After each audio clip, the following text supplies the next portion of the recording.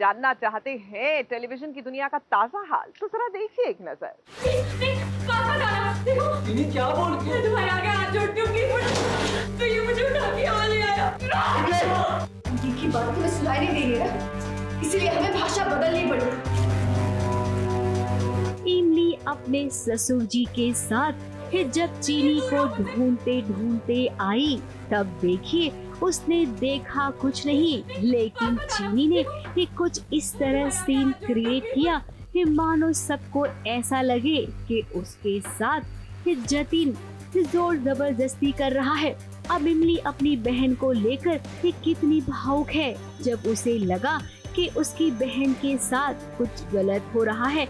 कि तब देखिए कैसे उसने ये डंडे से जतिन की पिटाई की। ये की बात तुम्हें सुनाई नहीं दे रही है। ना इसीलिए हमें भाषा बदलनी पड़ी। अब चीनी हर कदम पर कामयाब हो जाती है अपने बुरे इरादे में। और इमली हमेशा उसे सही समझ लेती है। अब यहाँ पर इमली के ससुर तो अच्छे से जान गए हैं चीनी की चाल। तो जतिन जो चीनी का साथ दे रहा था वो भी अब फंस गया।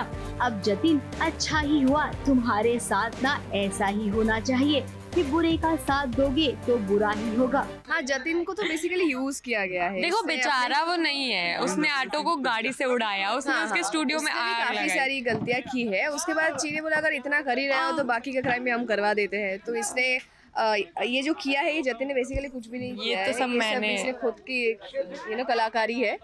ये जो डिज़ाइन बनाया इन्होंने अपने नाखून से तो इन्होंने खुद किया है।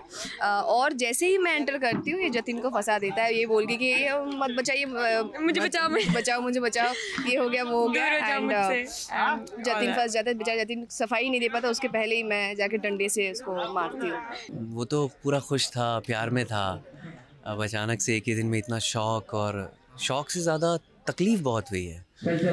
फिज़िकली नहीं, जो फिज़िकली जो हर्ट हुआ उसका नहीं, जो अंदर से तकलीफ़ हुई है ना, जो चीनी ने किया।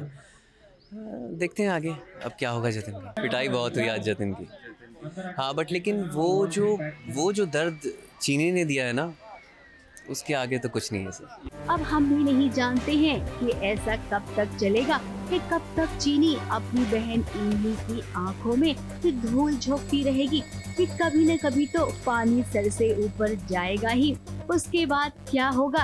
अरे, उसके बाद ये कहानी खत्म हो जाएगी। इसीलिए तो राइटर साहब ऐसा होने ही नहीं देंगे।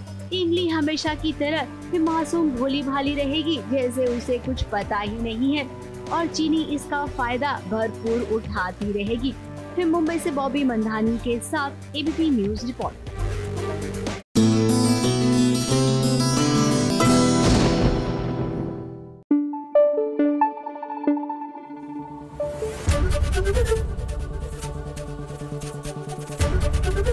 ABP news, आपको रखे आगे।